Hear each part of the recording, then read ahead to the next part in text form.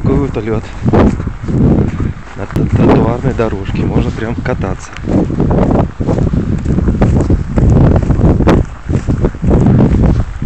Как вариант по боковинке, где чуть-чуть снега есть.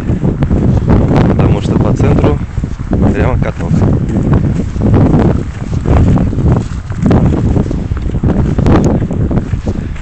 Ну, все вроде идут, никто не падает. Центру никто не, рискнет, не рискнет.